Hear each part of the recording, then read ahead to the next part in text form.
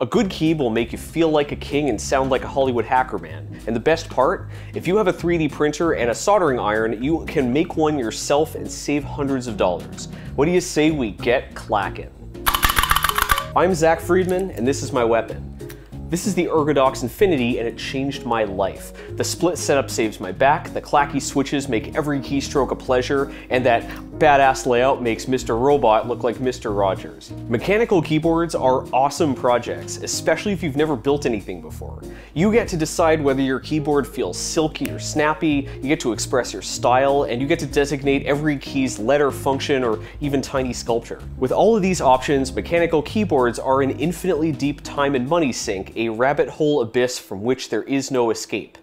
That's why I made this video number one in my Getting Started series, where I help you jump into a new project. And mechanical keyboards actually make an excellent first project. You don't need to know any electrical engineering, 3D modeling, or programming, but if you do, you'll be able to make your new plank all the better. While you build your keyb, you will get hands-on experience with soldering along with a gentle introduction to parts picking, reading bills of materials, building open source projects, and using microcontrollers. The best part of all of this is that your fancy new keyboard will continue to pay off because you'll use it to make every other project from this point on. If you have never soldered before, expect your first build to take about 30 hours. If you're an expert solderer and you've burned a hex file or two in your day, you could build a keyboard of your own in just over five hours.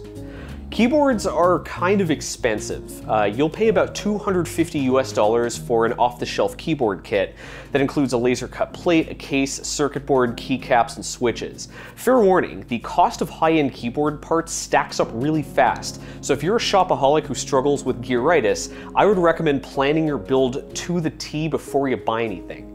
If you have access to a 3D printer and you're okay with soldering in hard mode, you can build a top quality hand-wired keyboard for less than $100. Today, I'm gonna show you three models, classic plank, a futuristic remix, and an exotic ergonomic, all 3D printed from free open hardware designs. This episode is sponsored by Thangs, an online warehouse of free printable 3D models. They have just introduced model assemblies which let you see and download an entire package of printable STLs at once. That is going to come in handy for these multi-part keyboard builds. Their coolest feature is the geometric search, which lets you upload an STL file and find other designs that have similar details.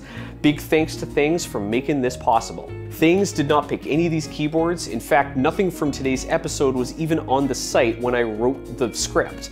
Uh, I personally contacted every developer and every designer to get permission to upload their hardware to Thangs so that you can inspect them from all angles and download them for free. Links and author credits are all in the description.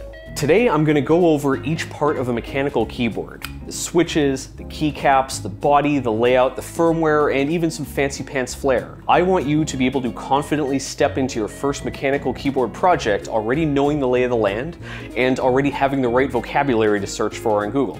Let's jump right into the most satisfying part of the keyboard as well as the most confusing, the switches. There are actually three types of mechanical key switch, linear, tactile, and clicky. I bought myself this switch tester to demonstrate. This thing has 63 different mechanical key switches and they all have the same keycap, so I can actually see and feel each one. If you're the type of push all the buttons ADHD dork that is near and dear to my heart, this is like the greatest thing ever.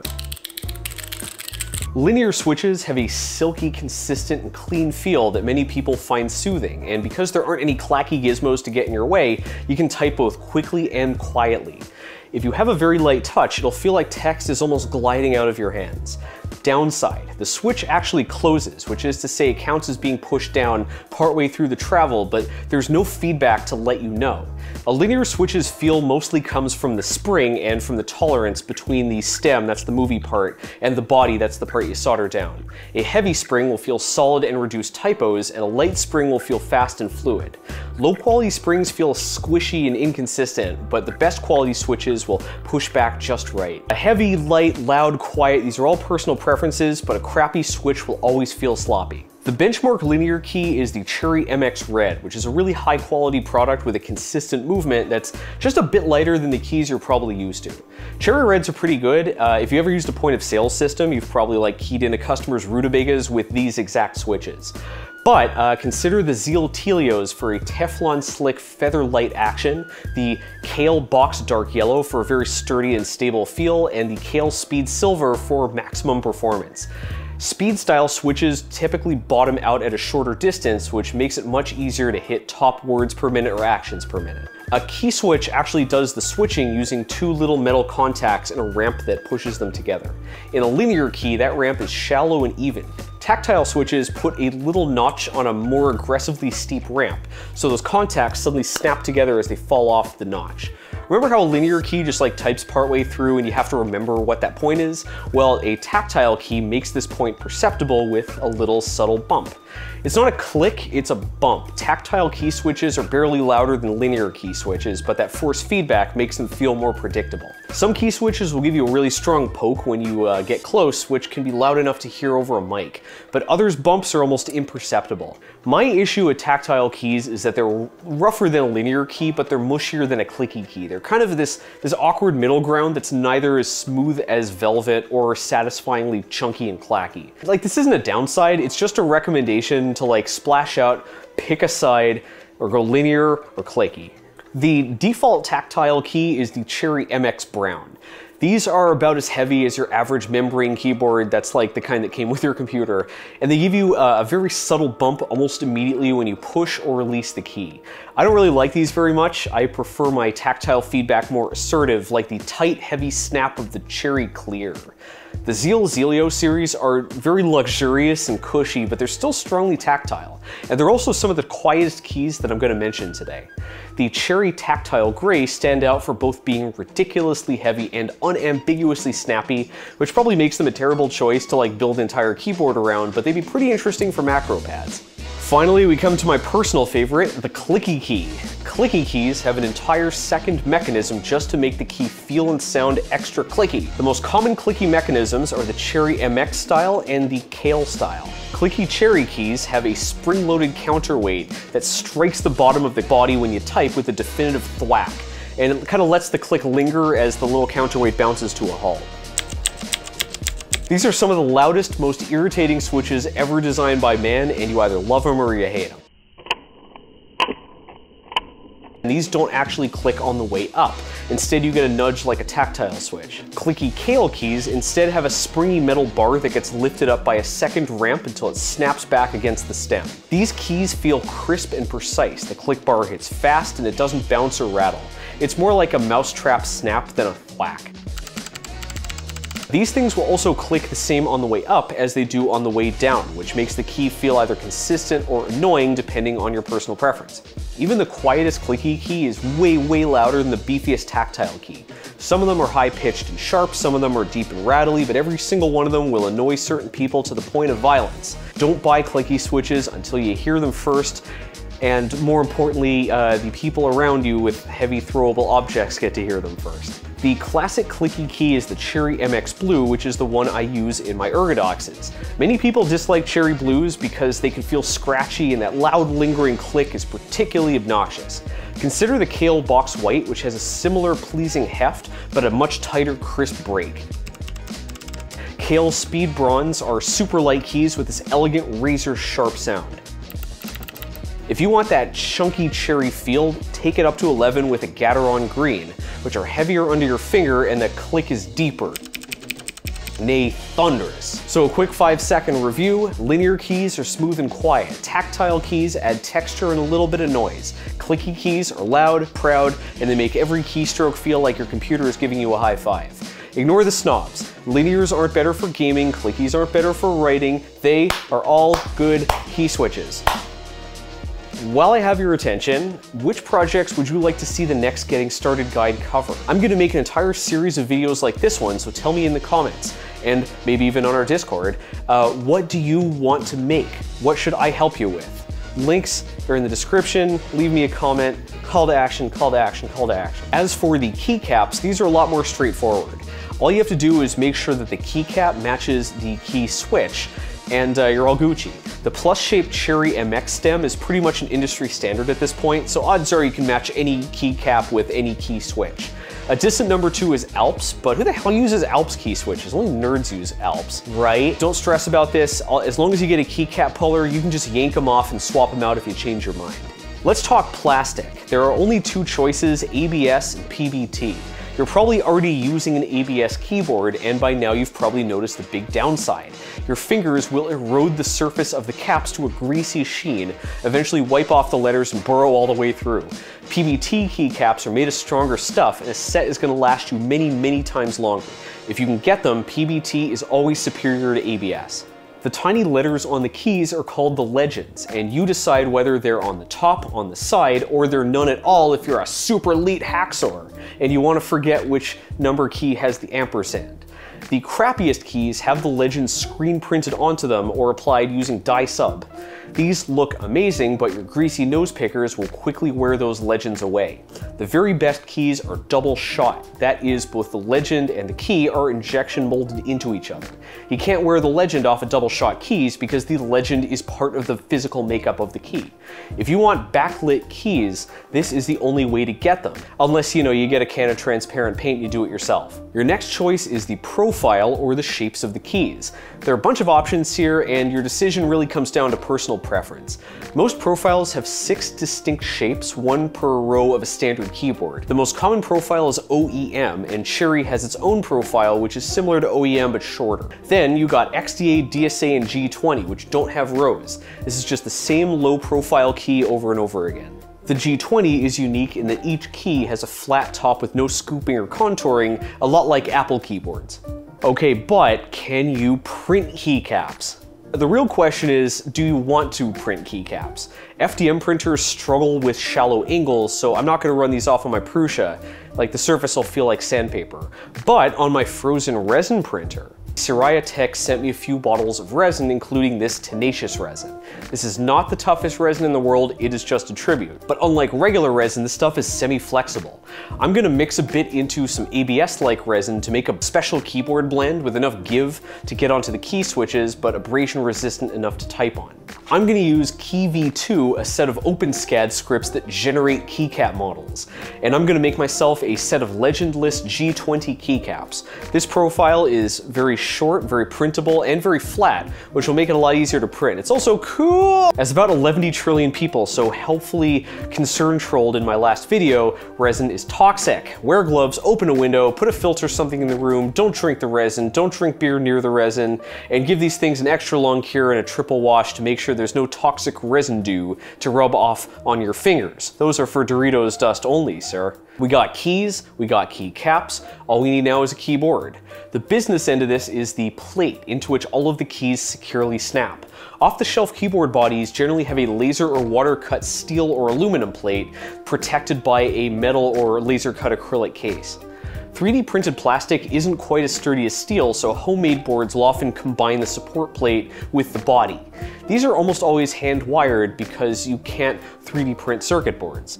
Yet. But these things are just as sturdy as the metal versions. I've 3D printed three open hardware designs. This is the SiCK-68. That's not an adjective, it's the super inexpensive cheap keyboard. The Redox, which is a split ergonomic, and the Dactyl Space Computer Hedgehog looking ass motherfucker from the future. So let's talk about how to pick this layout. The real decision you're making is how many keys you want on your keyboard. Yeah, there's a choice. Here is your classic full-size keyboard. Uh, it's got all the letters, numbers, arrows, modifier keys, function buttons, number pad, and even archaic crap like print screen and home. Keep enthusiasts call this a 100% keyboard. Coincidentally, it's got about 100 keys on it. Most people, myself especially, will never even touch the number pad, barely use the function keys. The hell does pause break do anyways? If you don't need the number pad, then make a keyb without a number pad. These are called 10 keyless or TKL boards. If you don't need a number pad, it's probably because you're not an accountant. And that means you probably don't need the function keys either. Let's hack those off along with these dinosaur keys. Why do you need it? This trims away about 40 keys, making this a 60% keyboard. I 3D printed this SiCK-68, which adds a few of the more useful ones back uh, to make a 60% keyboard with like a little bit of extra functionality. 60% is basically the smallest and most elegant keyboard you can make without things getting ridiculous. Okay, but what if you want just the number pad? Well, what you're talking about is a macro pad. It's basically a tiny little mini keyb that you use in conjunction with your daily driver plank. If you're unsure about whether this is the hobby for you, uh, build a macro pad. It'll give you a cheap and quick taste of the world of keybs. If you're a Voidstar Lab aficionado, you have seen my big wheel, my video editing controller. Yeah, it's a mechanical keyboard. It's not just a call to action. Click it, click it! Most keyboards are staggered. The keys are offset because that's how typewriters do. Well, it's 2021 and we've realized that the rules are made up and we can do whatever the hell we want. If you want to unstagger your keys, then by Jove, they will be unstaggered. What you're talking about is an ortholinear keyboard, which places the keys in a grid. I love these things. I find it way easier and faster to touch type. It also makes the keyboard smaller and a lot easier to assemble, and it means you don't need to buy a bunch of differently shaped keycaps. If you join me on the dark side, it'll take just under two weeks to get used to the new layout, but trust me, it's totally worth the inconvenience. Next choice, would you like to split? Our backs aren't really built for us to have our wrists together in front of us all day, so just moving the halves apart makes a huge difference. Uh, some of these are basically just a regular keyboard sawed in half, but who the hell would ever do something like that? A really cool feature of split keyboards is you can tent them. That is, you can prop the halves up so your hands rest in a more neutral position. This opens the door to a dock style layout, which adds handy dandy thumb clusters with spacebar, enter, shift, and all that noise. If you want a truly ergonomic keyboard, uh, this is the Dactyl Manuform, which is sort of like the Redox, but warped LSD style into an allegedly comfortable ergonomic layout. I'll see about that. This, this thing might guarantee my chastity, but it is comfy. This is where 3D printing really shines. Uh, there's no way enough people want something like this for it to sell at mass production prices. This entire keyboard, both halves of it, is only like 15 bucks a plastic. Design files are free, again, in the description. If you can get a printed circuit board for the board you want, I highly recommend nabbing one. Uh, it'll add some cost, but it'll save you hours. The alternative is hand wiring your board, basically freehand soldering a grid of wires and diodes between the switches and an Arduino. This looks like stupid, crazy complicated, but really all you're doing is soldering the rows and columns together to make a grid. Hand wiring a keyb takes longer than a PCB, but boards aren't always available for a given design. Uh, for instance, if you put off building your keyboards to the last minute and you have to order everything shipped overnight from Amazon in order to make your episode deadline. For instance, most DIY mechanical keyboards, even the ones with store-bought circuit boards, use an Arduino Pro Micro or Teensy 2.0. You might think these are outdated, and you'd be right. Be warned that the Arduino Pro Mini, Pro Micro, and Nano are totally not compatible and they're totally different. And the same goes for the Teensy 2, 3, and 4. Once you've soldered it up, you're all ready to program and test. Don't worry, uh, you don't have to write any code yourself. You'll probably use QMK, the most common keyboard firmware. QMK is stable, it's full featured, it's well supported, and it's free and open source, and is compatible with more or less everything. If you're not a programmer, then even better. Visit the QMK configurator webpage. Pick your board from the dropdown, bind your keys the way you want them, hit compile, uh, behold the spinning space potato, and then just load your ready to run firmware onto your key. Because almost everyone uses the same microcontrollers, no matter what you're building, you'll probably find instructions that help you do all this. Uh, all of these will involve uploading the firmware to Arduino using a tool called AVR-Dude or AVR-Dude-S. As far as I know, there is no gender-neutral AVR firmware uploading utility. AVR-Dude privilege. You can tweak the firmware as many times as you want, you'll never wear anything out, and don't worry about borking anything. Arduinos are pretty much impossible to brick. And that's it, that's all the elements in a mechanical keyboard project. So allow me to bring it all together and reward myself with a mechanical keyb of my own. I settled on the SiCK-68, I ran off the top in obnoxious glow-in-the-dark sparkly purple PETG, and the bottom in very hard to photograph Nickelodeon yellow neon. Nickelodeon neon yellow. Nickelodeon yellow neon.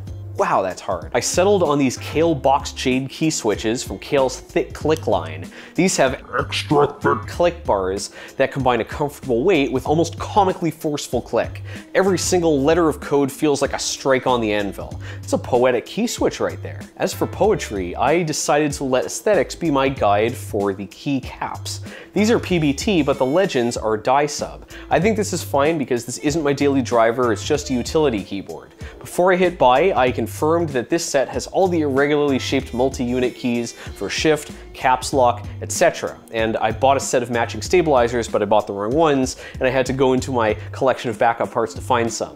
Anyways, look at these gorgeous keycaps. Look how happy all these anime ladies look. Let's build it up. The first part is attaching the two halves of the top plate together using these 3D printed pegs, except I forgot them, so I just glued them together. Uh, the key switches snap into the plates. Uh, it's very important to orient them the same way because it makes soldering a lot easier. We'll add those classy keycaps later. We still have a bunch of work to do and our job will just be less difficult if we can lay the board flat on the desk. One pin of each switch is for the row and the other is for the column. I curled one leg of each diode to make it easier to hang onto the pin while I solder it. Note the direction that the diode is pointing. This is important. Then, carefully referring back to the keyboard designer's wiring diagram, I solder the other ends of the diodes to form the rows. Then I solder each row's pins together. The wire just shoots straight between them. Okay, fine, I'll add some insulation. Next, I will use some insulated flexible stranded wire to connect the microcontroller to each row and column. Again, referring back to that wiring diagram. The keyboard should work at this point, so to test it, I will plug it in, load the firmware up with uh, AVR Dude, and carefully press keys one by one.